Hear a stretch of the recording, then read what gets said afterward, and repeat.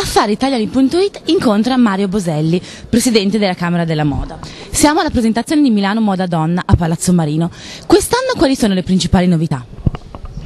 Devo dire, abbiamo i nostri splendidi giovani che abbiamo il primo giorno, sono sia quelli del Fashion Incubator che New Uncoming Design. Vedrete delle offerte molto fresche, molto attuali, molto eleganti, hanno già avuto ampi consensi quindi credo che sia il segno migliore per dare il là alla settimana della moda.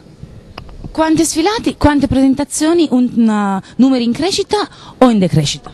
No, sono stabili per fortuna, il dettaglio sono 87 sfilate, 87 presentazioni più 44 su appuntamento.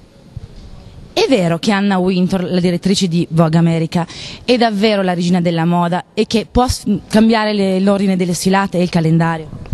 Direi che non è certamente la regina della moda, diciamo che è una direttore importante, di una testata importante e che tende a incidere anche al di fuori dell'ambito editoriale proprio. Eh, in Italia gli diamo più ascolto, o perlomeno alcuni gli danno più ascolto, in Francia no, ma questa è la vita. Perché in Francia il settore moda si unisce di più contro appunto, le, eh, insomma, le, tirannie della Winter in questo caso? Ma ci sono due considerazioni a mio giudizio, una strutturale, i gruppi della moda importanti sono due, è più facile mettere d'accordo due grandi entità che eh, vari gruppi di eh, livello alto ma di massa media come le abbiamo in Italia.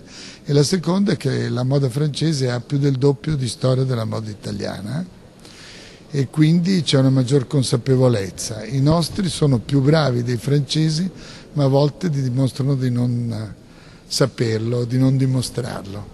Il risultato finale è un calendario che lei ha definito forte nei giorni centrali con due giorni decenti, il primo e l'ultimo. Sì. Beh, io dico che i quattro giorni centrali più che forti sono da delirio quindi credo che ci faremo male un po' tutti, però questo è stato quello che ne è uscito e quindi vediamo un attimo come va a finire. Certamente saranno giorni di grande stress. L'ultima domanda, non solo sfilate, Milano Moda Donna sta aprendo le porte anche al resto della città con eventi che stanno aumentando. Può anticipare qualcosa? Ma guardi, noi abbiamo eh, l'assessore Terzi che illustrerà questo progetto con una serie di iniziative e l'assessore Finazzer Flori per la parte più artistica e culturale.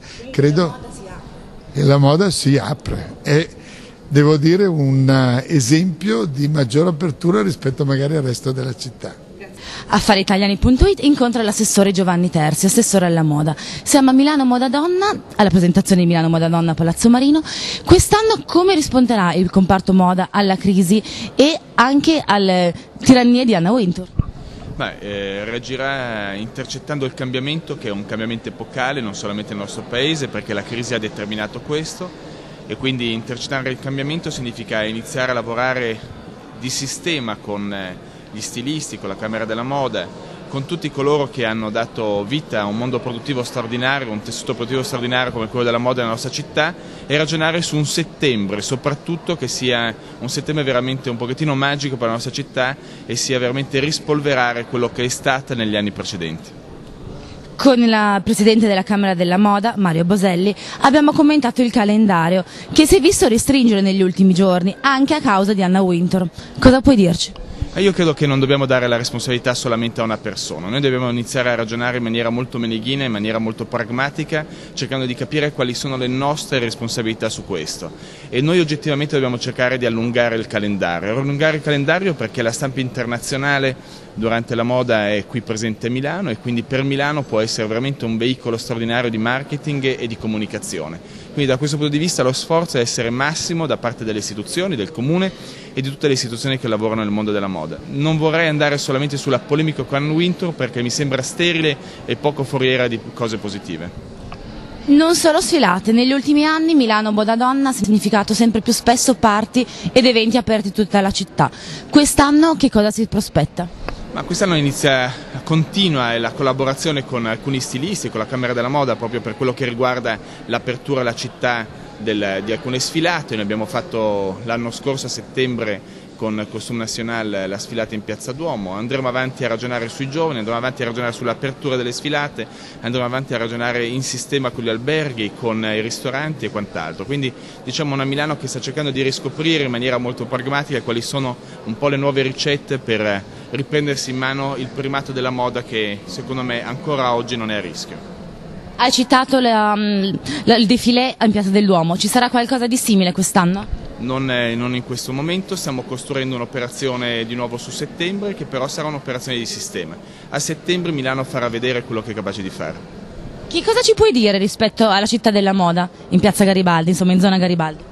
E credo che sia un momento di criticità economica per tutto il Paese, bisogna ragionare per cercare di sviluppare le idee e la creatività in questo senso le risorse sono poche e quindi dobbiamo saperle utilizzare bene. E da questo punto di vista c'è in atto sempre un ragionamento per capire come modificare la città della moda in, piazza, in Corso Garibaldi.